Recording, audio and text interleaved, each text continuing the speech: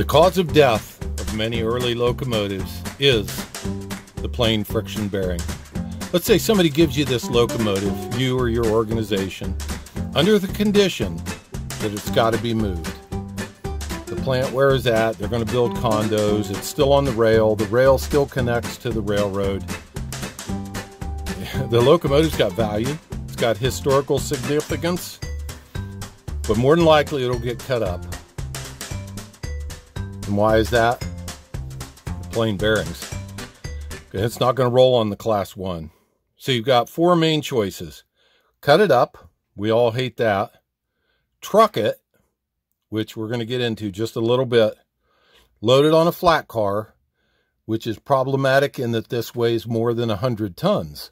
So you can't put it on a standard flat car. You're going to have to have a depressed well car with multi-axles, or there are flat cars with six axles that could take that. Then you've got to tie it down on the car, which is another project in itself. Number four is modify the trucks. So we're going to touch on a couple of those and then continue just a little bit into why this happened and how it happened. So if you were going to modify the trucks, you would take this end of the axle and machine it to, to hold an AP bearing. I talked to Jim at Lions Industries in Pennsylvania. Jim's been doing this work for a long time. He would turn off the flange there at the end of the axle, take a pass on the bearing surface, and drill and tap the holes in the end of the axle, push on AP bearings, reconditioned ones, all for $1,200 an axle. He can convert this plain bearing to roller bearing $1,200 per axle, including the bearings. Now, the bearing box, the journal box, gets a $250 modification, which is taking out the oil seal in the back and uh, machining out. There's a couple ears in there so that the correct adapter will go up in there. So you could take an older locomotive, lift the locomotive, roll the truck out, disassemble the truck, strip the axles down, send them away, get the machine, get bearings put on them, bring them back, reassemble the truck, put it back under the locomotive, and then the axles would be acceptable. But then there's some other issues that we maybe talk about in the future. End of car cushioning, draft gear, and the air brake test. So that's what it would take to modify the trucks. A couple other options that people do, they put an idler truck underneath it, but it does not have air cylinders on it for the brakes. So you can roll one around in your yard on dummy trucks, but you, it won't go out on the railroad because it doesn't have brake cylinders. And you could disassemble the truck and put freight car axle in it with no traction motors. It would have AP bearings on the end. You'd have to modify the boxes.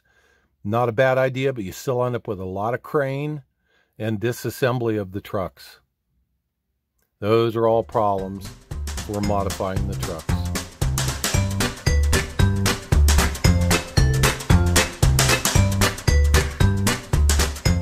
Here's a big old Rock Island locomotive being moved on a modular transporter. This is a YouTube video, Locomotive Rides Truck in City Streets. This was an expensive move. Go watch that video and uh, look at the crane time, the SPMT time. Uh, trucks are being hauled on a, on a different tractor trailer.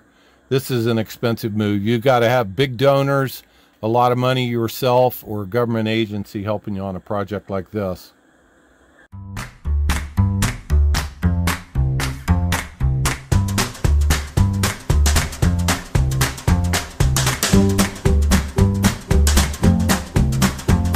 Okay, this is a friend of mine, Jim, from Over the Top Construction and Transport, moving an Alco RS3 on rubber tires right down the street. This is not inexpensive. It is not easy to do, but it can be done, and Jim can do it and does it all the time. This is a YouTube video called Highball 25 or Saving the Adirondack 25. Great video. Shows you how complex and how detailed a locomotive move is over the street. So I'm here today at the Hocking Valley Railway. This is a really neat organization in Nelsonville, Ohio. A lot of nice equipment. And uh, we're going to look at some of their equipment and the roller bearings and the journal bearings. Yeah, it's hot. Yeah, I'm sweaty. But uh, this is a good example of what they have here. So this row of cabooses is going to be an excellent little classroom for us. What I want to point out here is here's your plain bearing. This is the waste area, oil, and there's your bearing.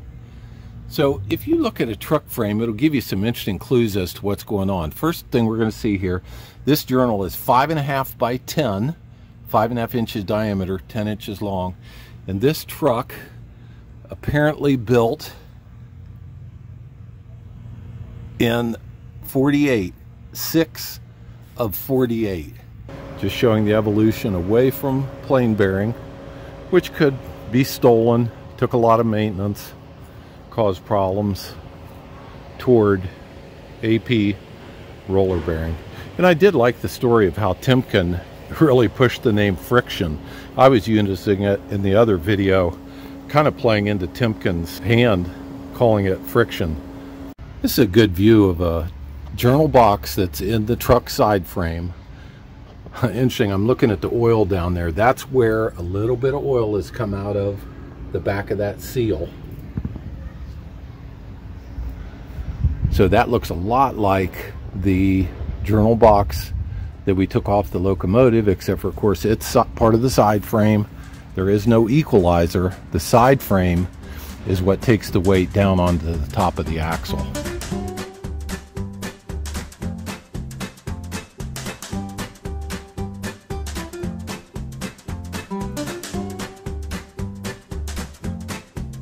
So this is your AP bearing three bolts on the end. This is the bearing itself. Of course, there's a uh, adapter that fits on top, takes the weight directly down onto the bearing, onto the axle.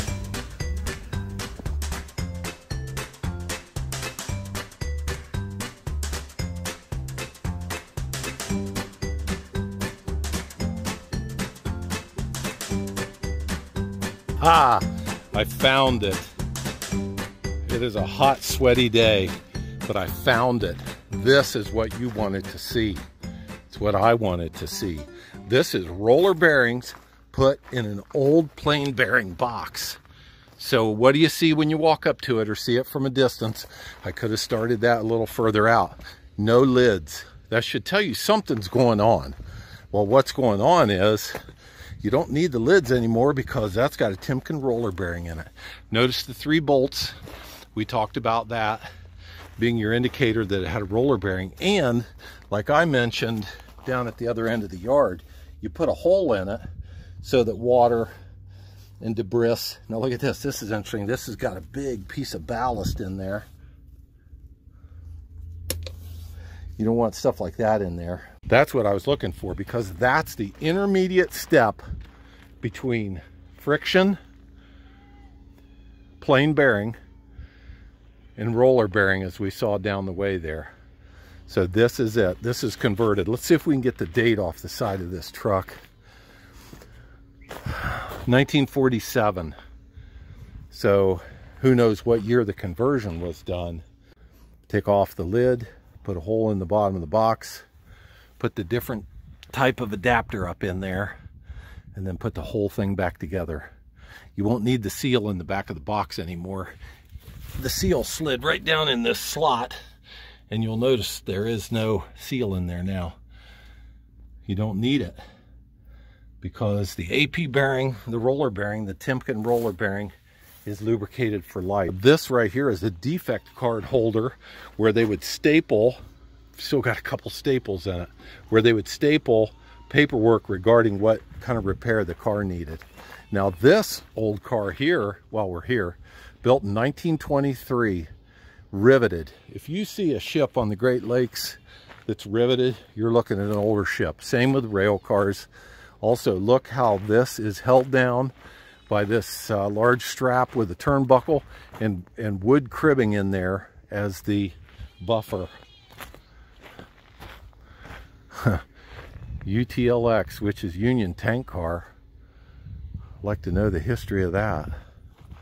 So that's just about going to wrap it up for our journal box, journal bearing, plain bearing, friction bearing, mop head Got to keep it lubricated or you'll have a hot box lesson. I've really enjoyed having you guys along. This is a blast for me. I'd love to know all of you and uh, do this together, but through modern technology, we can share it. I almost guarantee you're not as sweaty as I am right now. Thank you all.